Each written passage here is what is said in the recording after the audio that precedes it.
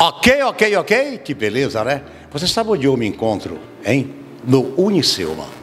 Todas as vezes que o programa Zé Cirilo na TV chega a esta casa da educação, a essa universidade famosa no Maranhão, no Brasil e no mundo. E nós vamos provar hoje aqui cada vez mais, com 34 anos de relevante serviço prestado à educação do Maranhão e do Brasil, o Unicioma está cada vez mais na crista da onda.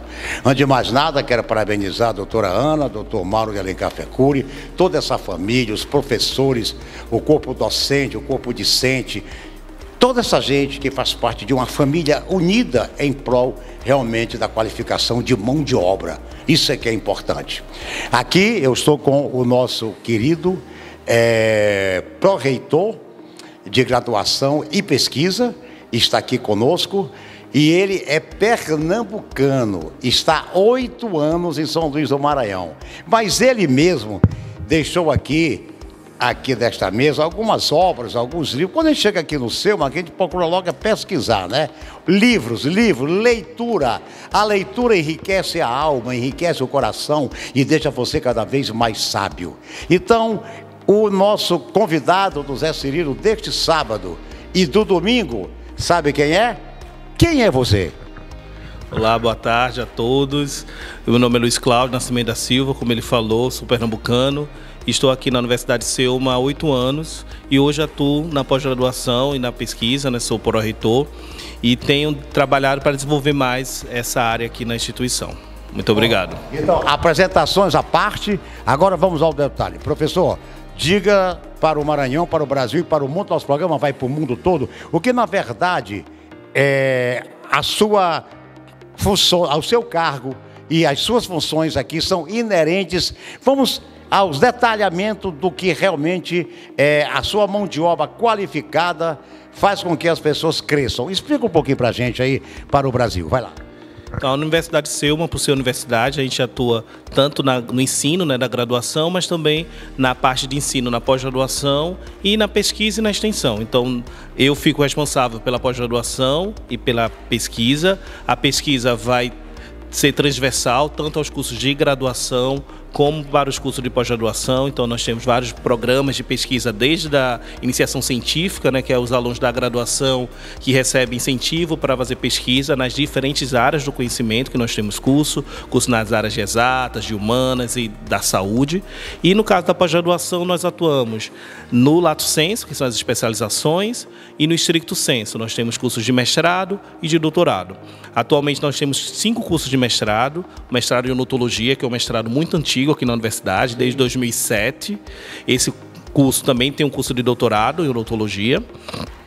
Temos o mestrado em gestão de programas de serviço de saúde, um mestrado também em meio ambiente, em biociência aplicada à saúde e um mestrado em direito e afirmação de vulneráveis. Então são esses cinco mestrados, o doutorado em odontologia e nós fazemos parte da rede de biodiversidade e biotecnologia, que é um doutorado em rede, em associação com várias instituições aqui da, da Amazônia Legal, que é o chamado Bionorte, e o SEUMA também faz parte da rede é, de ensino em matemática e ciência, que é o REAMEC. Então a gente também tem doutorado nessas áreas. Agora, veja bem, quantas cabeças pensantes vocês é, é, que estão aí nos assistindo é, imaginam que um mestre dessa natureza não deve ter já lançado aí pelo mundo afora? Tem ideia de quantas cabeças pensantes já passou assim pelas suas mãos? Fala pra gente aí especificamente comigo como orientador. Então, eu estou aqui na universidade já desde 2016. Então, eu acho que eu a, orientei em torno de 15 mestres e 5 doutores concluídos, né? fora diversos alunos de iniciação científica, de trabalhos de conclusão de curso.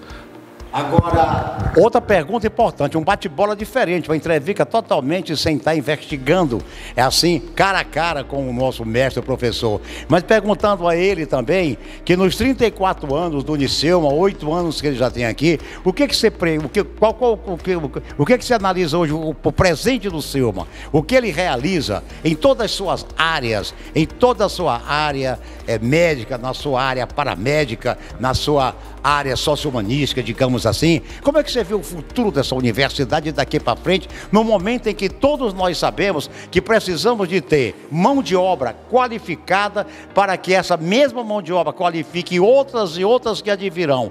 Como é que você vê a função do Selma hoje, já que nos bastidores ele teve conversando conosco, né, de pessoas estrangeiras que estiveram aqui no Selma e saíram daqui pasmados realmente com o trabalho da clínica da doutora Ana, por, por, por oferecer um trabalho praticamente gratuito. E que, na verdade, as pessoas chegam e dizem assim: Unicelma, como tem colaborado para a educação do Brasil e do mundo. É verdade isso aí? Isso é verdade. E a gente está num momento de muita festa, né? Ontem recebemos um resultado muito importante para a universidade, que foi o reconhecimento com nota 5, que é a nota máxima para o curso de medicina lá de Imperatriz, né? O CEUMA hoje tem campus aqui em São Luís, em Imperatriz, então a gente se, se consagrou, que já, a gente já sabia que era, nós somos excelência no ensino médico, também lá em Imperatriz agora. Para a gente foi muita alegria. Então, no decorrer desses 34 anos, né, a Universidade CEUMA tem transformado vidas, né? Então a gente hoje já tem professores na casa que entraram aqui como alunos de graduação, fizeram mestrado, doutorado e hoje são professores, né? E estão já formando mestres aqui na instituição. Cabeças que pensaram e evoluíram. Exatamente. Então, nesses 34 anos, a universidade ela vem é, desenvolvendo muitas ações em várias áreas, no ensino, né? Vários profissionais, mais de 50 mil profissionais formados de qualidade aqui na instituição, diversos mestres e doutores também formados aqui na Universidade Selma, que estão atuando. A gente tem um índice de empregabilidade muito alto. E focando aqui na pós-graduação, né, que é a área que eu conheço um pouco mais, nós temos que nossos mestres estão atuando em várias áreas, né, desde sendo professores em instituições, tanto aqui de São Luís, na Grande Ilha, como de outro estado. Nós temos ah, egressos do mestrado que estão em Pernambuco, temos egressos no Mato Grosso e fora os outros estados aqui mais próximos, né, e esses profissionais têm mudado as suas realidades locais. E falando um pouquinho da minha experiência também, a gente ter experiência de alunos saindo da graduação orientados por nós, que estão na USP fazendo doutorado, saíram da graduação direto para o doutorado. Sim. Então isso é algo fantástico, né? Eu sou professor da biomedicina, então a gente tem três recentes egressos que estão fazendo doutorado. Temos alunos da Universidade Selma, egressos que estão nos Estados Unidos fazendo doutorado, outro que está agora fazendo doutorado sanduíche na Dinamarca. Então é uma mudança muito grande na vida das pessoas, né? Que é o grande cuidado que a família mantenedora tem, né? De contribuir com esse desenvolvimento do estado do Maranhão. E nós desenvolvemos também pesquisa em diferentes áreas, né? Desde a área humana, da área também do direito, na área da saúde, na área das engenharias, pesquisando temas que são emergentes aqui para a sociedade, né? sustentabilidade, bioeconomia, transição energética. Então, todas essas iniciativas são de grande importância para o desenvolvimento do estado do Maranhão.